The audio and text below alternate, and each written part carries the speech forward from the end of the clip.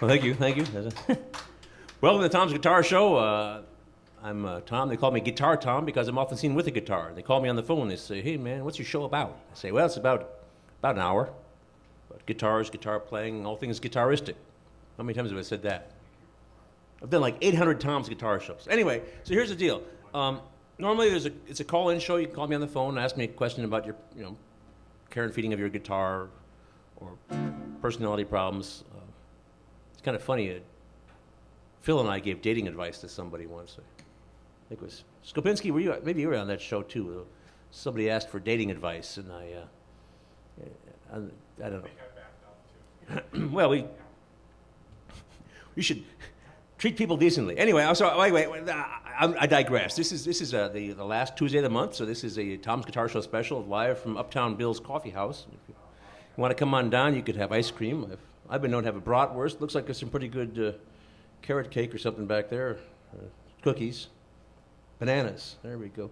Uh, bananas are what? Well, yes. He said bananas have less appeal. Um, so, uh, as I say, once a month we do a Tom's Guitar Show live from Uptown Bill's. Next month we're going to have a mandolin player come on, and we're going to do a combination of uh, choral music, old time fiddle music, and klezmer music. So that'd be kind of fun. Uh, one or two very precocious young uh, kids, children playing classical guitar. But this month it's only me and uh, four readers, so maybe I should play something sort of fooling around like this.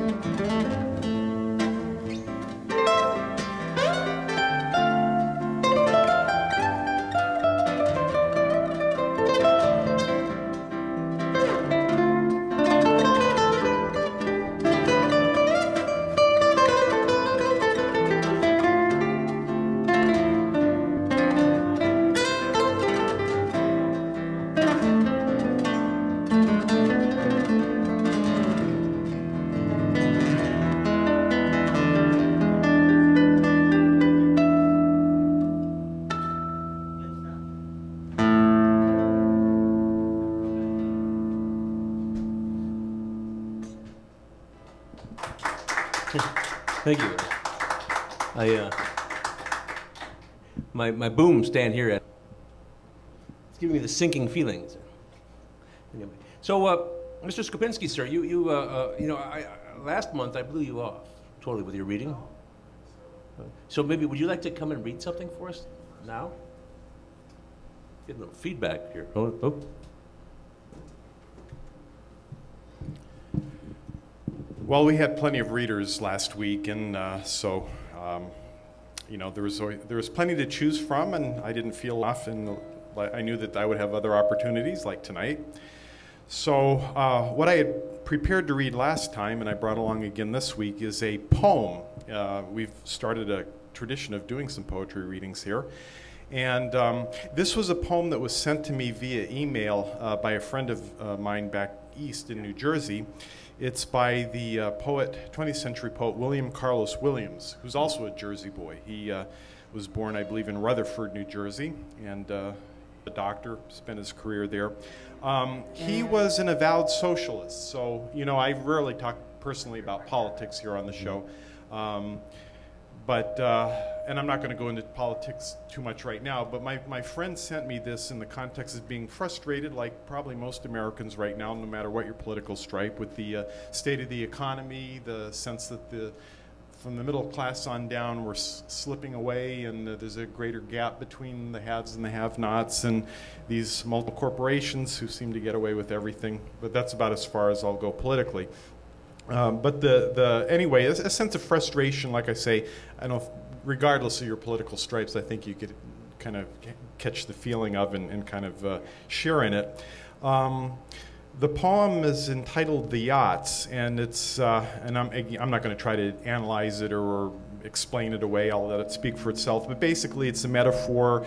The yachts are the privileged who seem to have everything sailing over the waters of basically the rest of us that can't quite, you know, do anything to the yachts. They mm. kind of have free rein.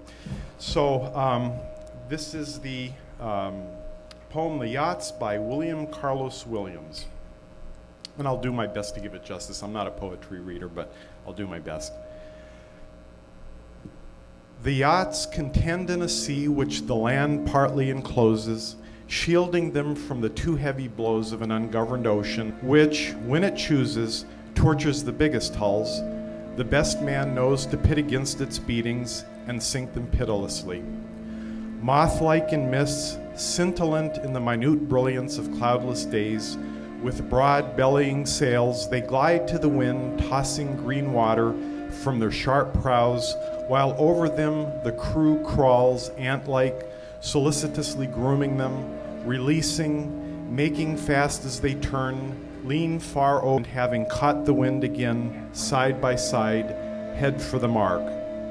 In a well guarded arena of open water, surrounded by lesser and greater craft, which, sycophant, lumbering and flittering, follow them, they appear youthful, rare as the light of a happy eye, live with the grace of all that in the mind is feckless, free, and naturally to be desired. Now the sea which holds them is moody, lapping their glossy sides, as for some slightest flaw but fails completely. Today, no race. Then the wind comes again. The yachts move, jockeying for a start. The signal is set, and they are off. Now the waves strike at them, but they are too well made. They slip through, though they take in canvas. Arms with hands grasping seek to clutch at the prows. Bodies thrown recklessly in the way are cut aside. It is a sea of faces about them in agony, in despair, until the horror of the race dawns in the mind. The whole sea becomes an entanglement of watery bodies, lost to the world, bearing what they cannot hold. Broken, beaten, desolate, reaching from the dead to be taken up, they cry out, failing, failing, their cries rising in waves still as the skillful yachts pass over. So that's that's my reading and contribution. That's good. That's good. And uh, I might say that uh, met people who, who feel that uh, you know who, who have maybe been conditioned to believe that socialism is uh, the boogeyman, and there's a equivalent with Maoism or something or Stalinism, and uh, so I might mention something about well about public roads, public schools, and uh, things like, well, that's not socialism. They say, well, what is it? Because if you, you know, if we didn't have common property, public property, you know, like like roads, you you know, you have to pay a toll when you go down the road. That in some countries they have what they call checkpoints. So, so I don't think I'm particularly a socialist, but anyway.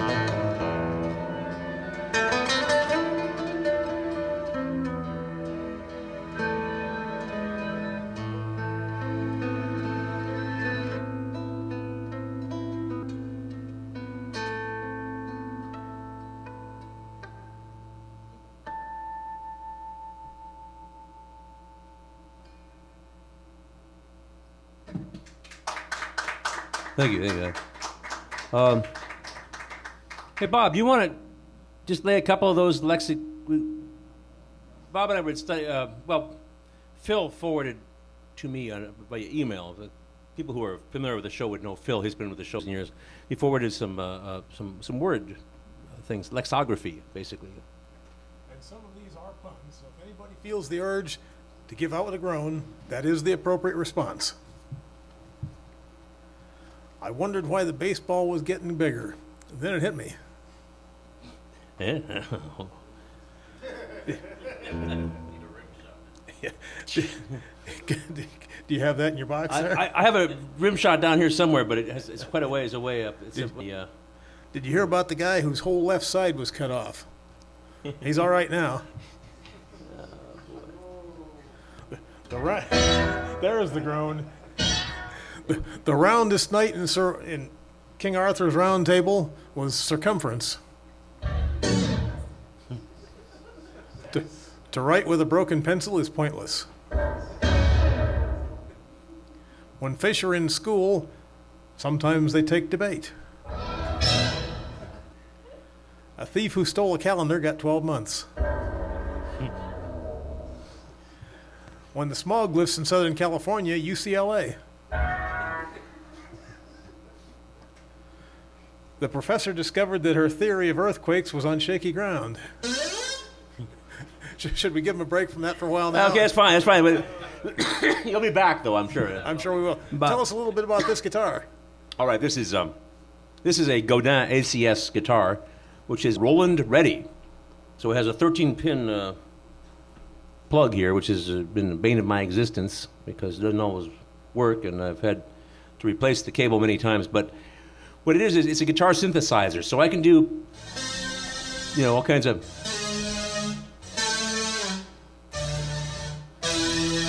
I can do all kinds of wild stuff.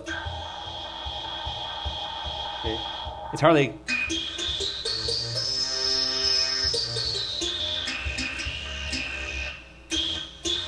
I can do whatever I want with it. Actually, this was. Uh,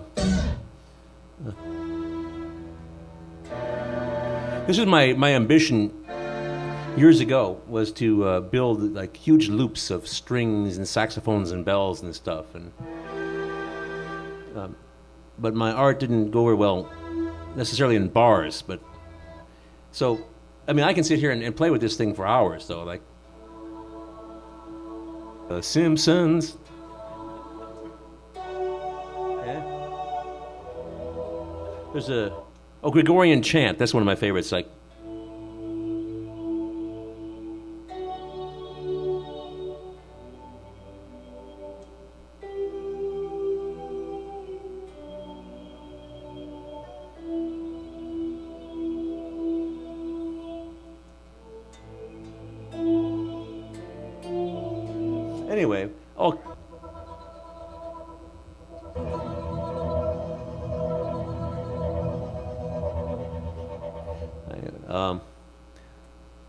actually I just turned a photo, uh, total eclipse. I can't remember what it is. Let's see what it is.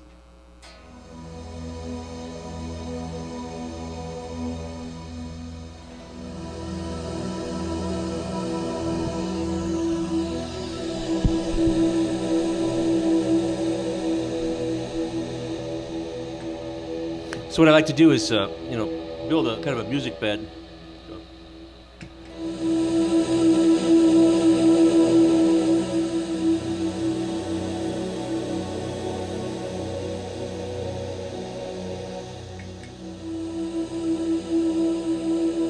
I can do something like. Uh,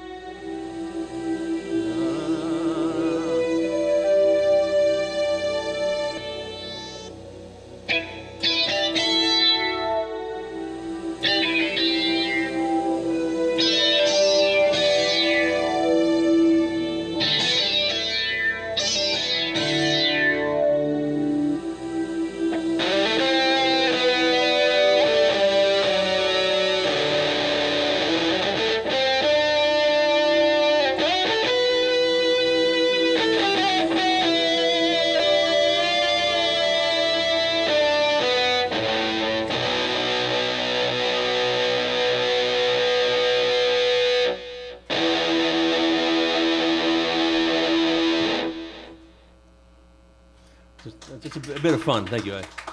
So, um, Craig, you have a.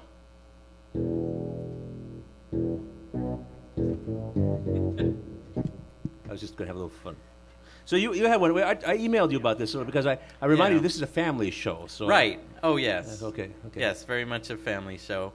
So uh, this essay is called uh, "The Dog's Bucket List," and it grew out of a lunchtime conversation that I had uh, with a couple coworkers. So it's part essay, part list. Um, one day at lunch, I was telling my coworkers, Dan and Amy, that when my family travels, we often don't take our dogs with. I commented, That seems unfair to the dogs. Dan laughed and said, I don't think that matters. He started wondering if dogs had regrets in life, things they wish they would have done. So, what would be on a dog's bucket list, to use a popular phrase? That is, things they want to do in life before they kick the bucket. Some of these contributions are in responses to Amy's Facebook post on this topic. They're in no particular order. Bark at the President's on Mount Rushmore. Drive a pickup truck while my human being hangs her head out the window with tongue flapping in the breeze. Catch a fly ball at Yankee Stadium. Complete a task without being distracted by every little squirrel. Make a pilgrimage to the fire hydrant factory. As comedian Steven Wright said about it when he worked there, you can't park anywhere near the place. Chase and bark at the 800 pace car. Ride the leg of a United States senator. Disrupt an outdoor wedding reception by running through the buffet line. Be a ball retriever at the U.S. Open tennis tournament. Visit the Field Museum in Chicago and gnaw on a Triceratops femur bone. What are some other things that would be on a dog's bucket list? Run around on the White House lawn and leave a souvenir in the Rose Garden. Finally, successfully catch that tail I keep seeing out of the corner of my eye. Pass the driver's vision test, proving I'm not colorblind. Find a rare, valuable Louis XIV chair and chew the stuffing out of it. Once, just once, eat the duck that I swam in cold water to retrieve. Start a restaurant that doesn't let in humans or cats. Chase and bite the postmaster. That's very good.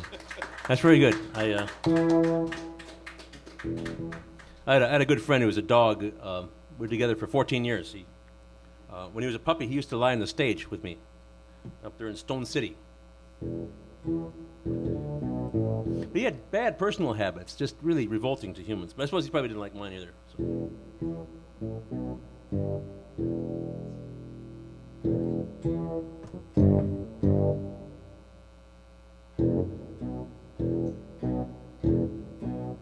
Thank you.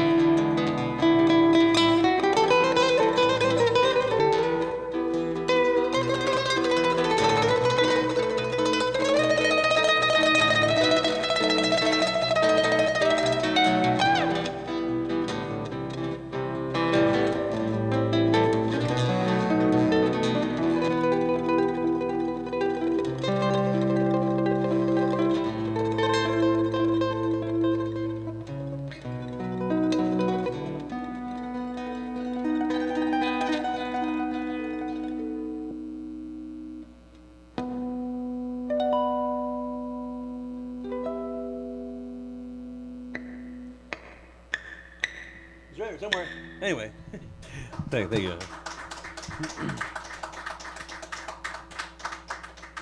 So I'm glad to have all these readers. I, whatever this disease has been going through, there's some virus that's been uh, decimating the population around here. Uh, seemed to get me, and most things don't get through me because I, I've been, you know, I've spent a lot of time hanging around with little kids in my teaching thing, and uh, and uh, they're like little breeding grounds of viruses and everything. And but this one got through all my defenses and uh, made me who I am today. Kind of like my head's full of cotton, and I'm not as articulate.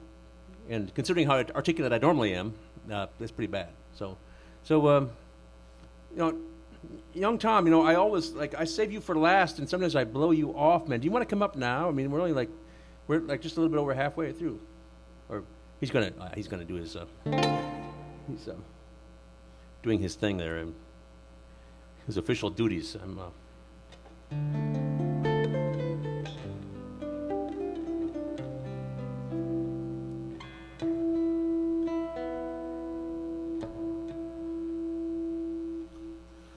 yeah. So you. Uh, yeah. Well. You caught me off guard. Uh, there's a coffee shop here. Yeah. You know, and, and you got to serve people. And You're supposed to be of that serving kind of coffee, thing. and, and here I am messing you up. Besides, we're doing a live Twitter show tonight, and I just got finished saying that your music sounded like uh, you were ranging from, or lurching, I said, from Joe Satriani to Hearts of Space. Yeah. And I wondered if you were going to end the show by saying good night, space fans, wherever you are. maybe I should, but it's been done. so my friend uh, Mandy, who was here last week, would have loved that. So she can do that really well. Is she space cadet or? or uh, No, no. She used when she was little. She used to watch the or listen to the show lying on her bed and with the lights out and really kind of scary. music from the hearts of space? Or, Yes, or- music yeah. from the hearts of space. Yeah, I always kind of liked that so, that show. I, uh, I, I, I mean, it didn't scare me, but it was always kind of nice, you know. And, Well, you weren't ever little when it was on. no, I, I'm a, I'm all grown up, and I've been grown up for a long time now. I think. Um, uh, I, I don't know how, how long that show will go on. I'm beginning to wonder if that guy is still really alive or if he's stuffed and it's some pre-recorded voice doing that.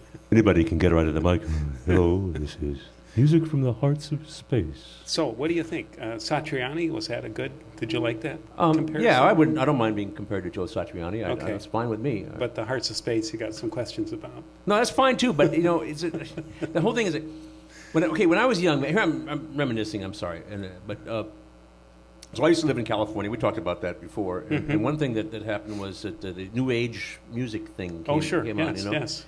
And doing music though that had it was for meditations and stuff. They had the breaths, you know, included in the Mhm. music, and I thought it's a very personal thing. Mhm. And and just like you know, MTV when that was when I, when I was around when that was starting, and I was involved with producers and stuff. I, I ran away, you know, from uh, uh, new age music and, Ah. and from uh, and from MTV. Okay. And, uh, I've been hiding. You didn't. You didn't buy the entire Windham Hill collection No, I didn't. I uh, for the first ten years. Yeah, they're only around for ten years, weren't they, or something? Well, they were bought up by somebody uh, bigger. I Recall. And it But, wasn't the same. You know, they were originally just a post office box at Stanford, and I vi- that was their office and everything. And I visited there a couple of times just to stand outside.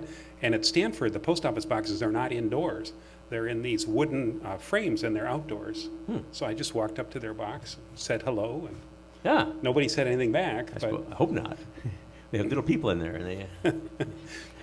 Never mind. I'm digressing. What were you Very going to do for us here? Well, I, you know that, uh, you know that Warren Zevon song, uh, uh, Sleep Werewolves when of, I'm dead. Oh no, that one. Okay. yeah, Yeah. Werewolves of London, and then he re- he redid it for San Francisco once. I'm not going to sing it, but he Oh. redid it for San Francisco as kind of a spoken word thing. Hmm. And so, you know, what's that holiday coming up? Uh, it's- Halloween. or Halloween something? is yeah, Boo. one. Yeah. Yeah. Boo. Uh, Boo. Boo hoo. yeah. knock knock. Who's there? Boo. Boo hoo. Please don't cry. Yeah, okay. Yeah. Okay. Okay. Um, so I, Sorry. I, We lost focus. I'm sorry. It's my fault. We've I've rewritten this song as uh, Werewolves of Iowa, but we need a we need a little rehearsal first. When I see because in the song uh, you're supposed to howl every time you hear Werewolves of London, and in this case Werewolves of Iowa. So could we try that? I'll say Werewolves of Iowa, and you. Oh. Okay. Very good. Very good. This is a nice, nice audience. This will work well. All right. Good. I'm going to wait. So are, are I'm ready, man. Okay.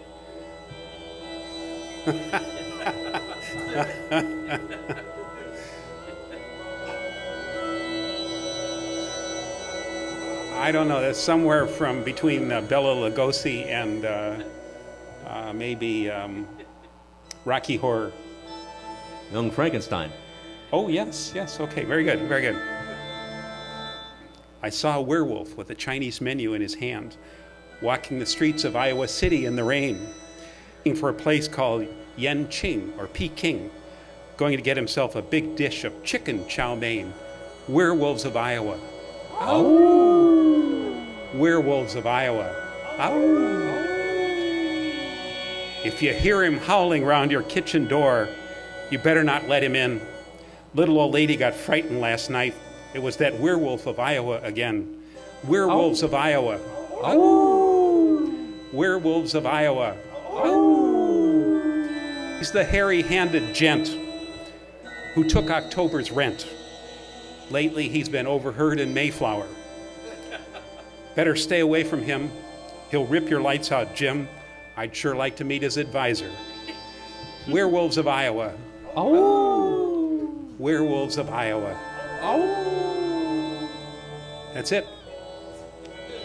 That was that was great. Copies available soon. That was great. That's that's wonderful. Uh, So that was, uh, I imagine this could inspire other people better.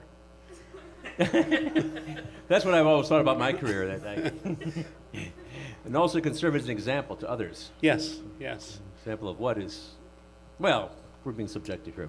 So, well, thank you for the opportunity to come up again, and thank you for all of you for uh, being here and for watching uh, the show live from Uptown Bills. Uptown Can I uh, make a little, do a little plug? Sure. If you're go ahead. watching the show uh, tonight, we have music tomorrow night at uh, 7:30 uh, in Washington D.C. called Pre.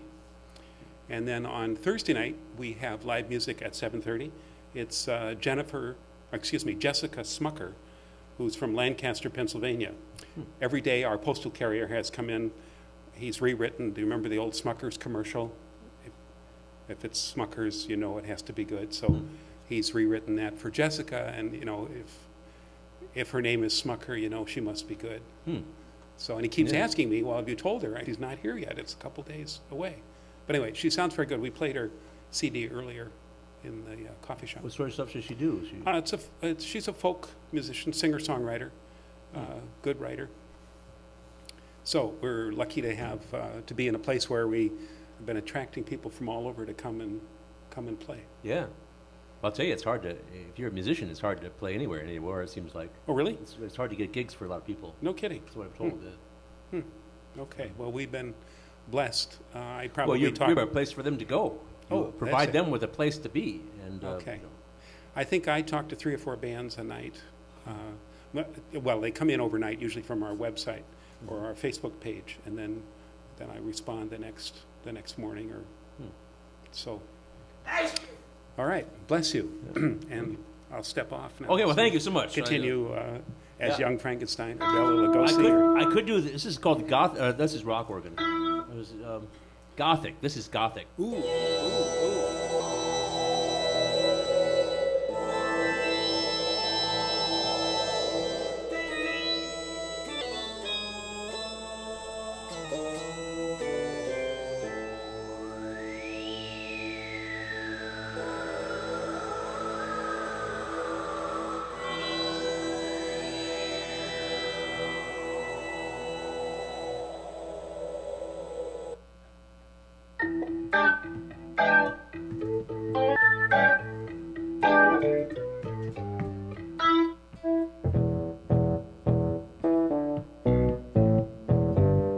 just fooling around, you know. I, uh, because I uh, feel like I got a head full of cotton tonight. I was going to get all rehearsed and everything, but now I think, ah, I'm just going to have fun. So, should do the right thing, but.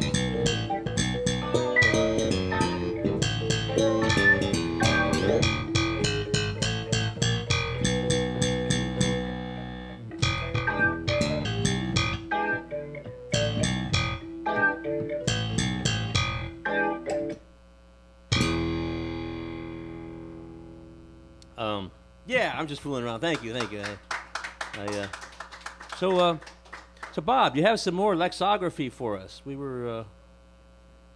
Sorry,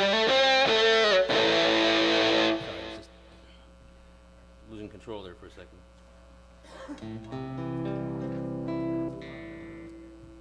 Okay, if we're prepared to groan again, we'll see what else we have here. All right. You're stuck with your debt if you can't budget. Aha. Oh boy. Sh- show. I like this one. Don't you hate a guy that laughs at his own jokes? Yeah, but Actually, these are Phil's jokes. it's Phil's jokes, so it's all right. So. Show me a piano falling down a mine shaft, and I'll show you an A flat man, min, minor. A flat, minor. minor. Yes. Ah. With her marriage, she got a new name and address. If you don't pay your exorcist, you can get repossessed. A will is a dead giveaway. A boiled egg is hard to beat. When you've seen one shopping center, you've seen them all.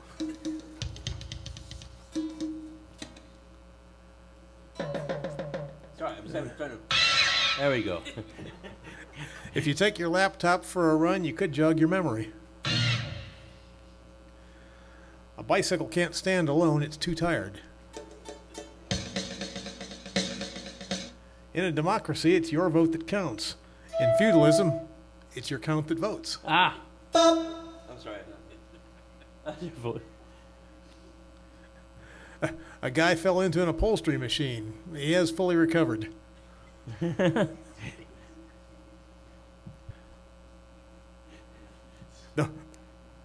Those who get too big for their britches will be exposed in the end. Oh boy. Our control room told us earlier that the stuff you were doing at the beginning of the show they'd like for their science fiction show. Oh. Well, if they need some science fiction music, I'm, I'm better prepared for that than anything today. Ah. So. But uh, Anyway, I'll move away and let somebody else take a spot here.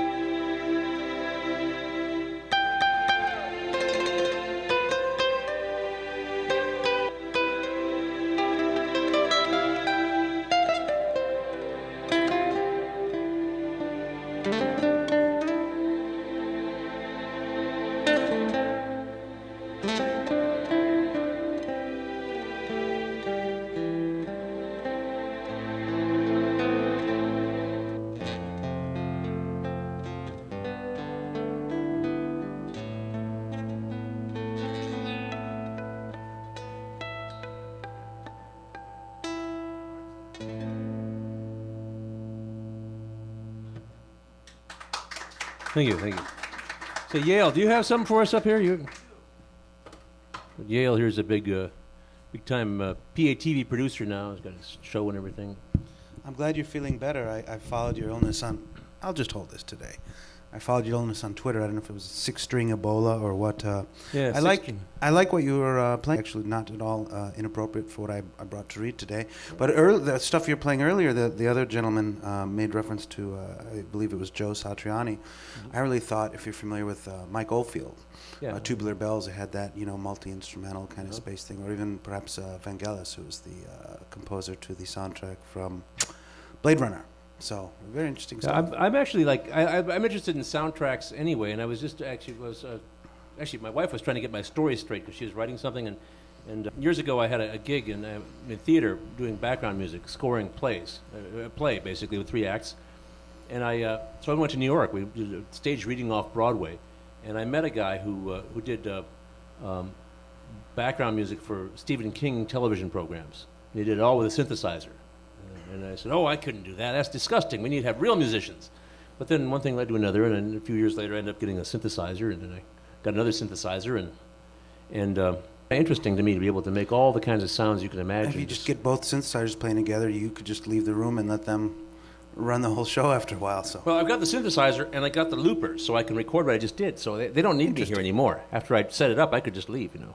Well, I was. Uh, I don't know if you've mentioned on your show. I will throw in a plug for you know PATV. You're well aware we're having Yes. the I Love Iowa City uh, film contest. We're looking for submissions from folks uh, who love this town as much as we do. And I spent uh, a great part of the day today uh, posterizing, canvassing, putting for this uh, downtown. So I thought I'd read something. Uh, an- another th- something I'd written for Little Village magazine for Valentine's Day a few years ago. So it's kind of a romantic thing, sweet. You know, you imagine Garrison Keillor meets Woody Allen writing Hallmark cards or something like that. But uh, it was a piece I wrote about how uh, how amazing, and wonderful I thought um, uh, women here in Iowa are. Uh, Iowa women. Uh, it was called Brains. Excuse me. Yeah, Brains, Brawn, and Beauty. I believe was the title they gave. Brains, brawn, and beauty. That's So that's that's what I'll be reading for you. Take us out this afternoon. When I first moved to Iowa, I'm going to start that again. I got my inaugural throat clear out of the way. When I'm, when I first moved to Iowa City, I would get knocked off kilter when attractive women I didn't know would smile and nod at me when we'd pass each other by on the sidewalk or in the aisle at the grocery store or the public library.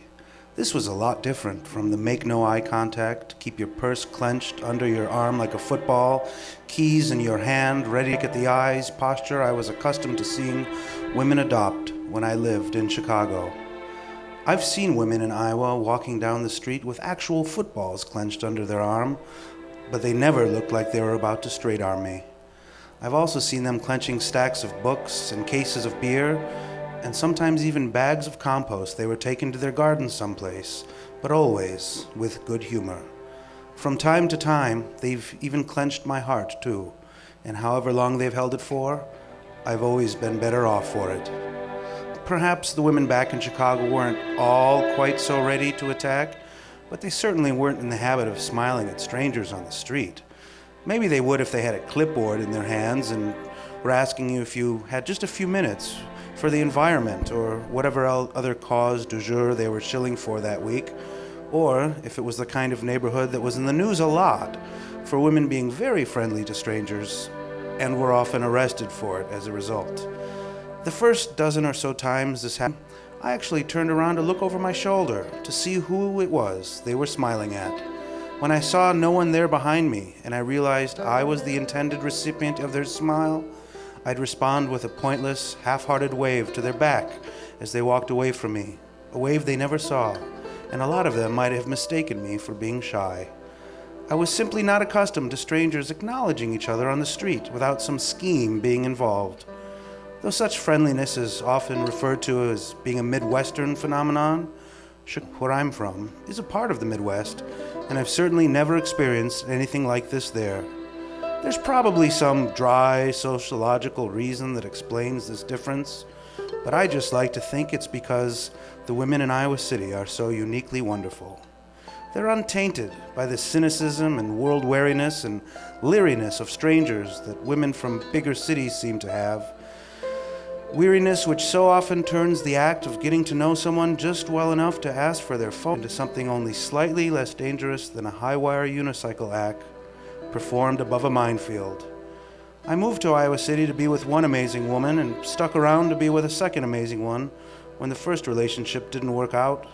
The second relationship didn't work out either, ultimately, but I have no regrets about either, and I'm going to stick around for a while because there's no place else in the world I'd rather keep trying to get it right.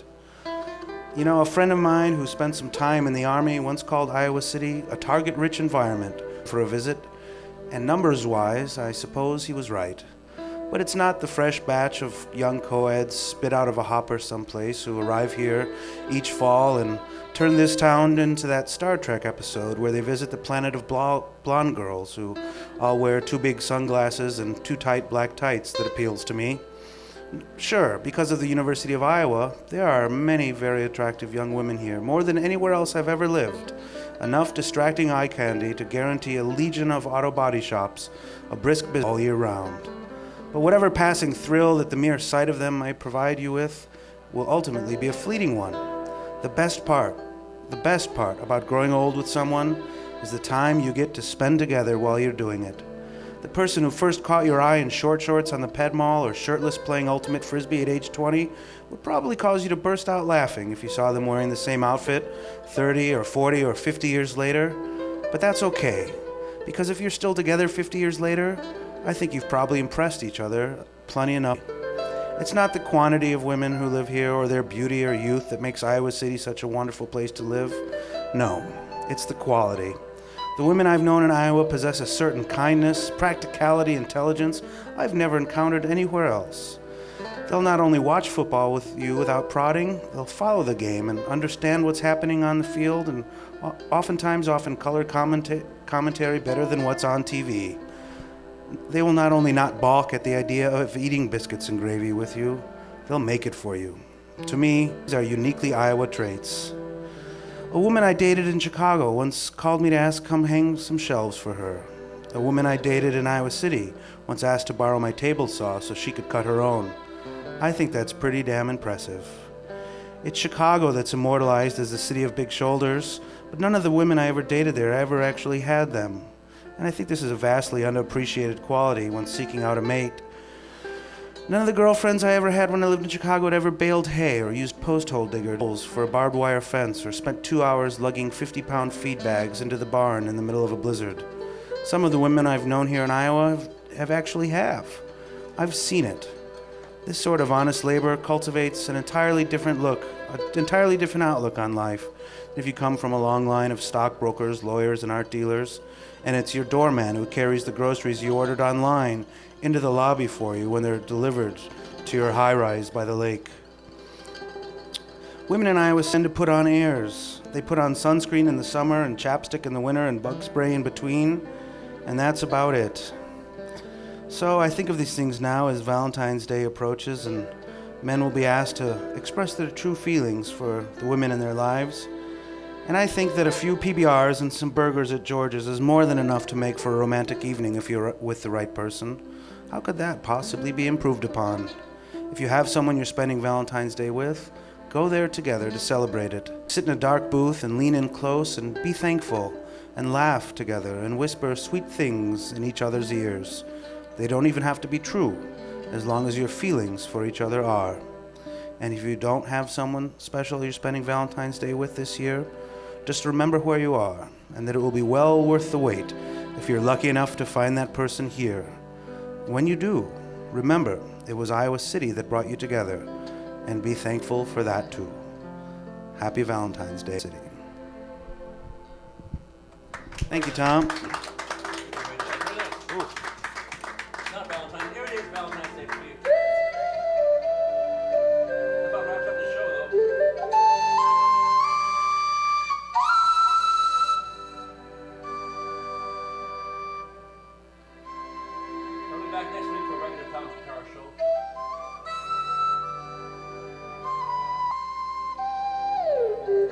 I think my mic. Oh, there's my mic. Be back next week. The regular Tom's Guitar Show. from downstairs. The studio is a public access television. I want to thank uh, young Tom over here for all his indulgence. It's enough to make me want to have a cup of coffee. I want to thank Uptown Bills and the staff of Public Access Television. And uh, next week, next month, we're going to have a mandolin player here, and it's going to be a big deal for him. I hope we'll play all kinds of wild and crazy stuff. But uh, until then, signing off.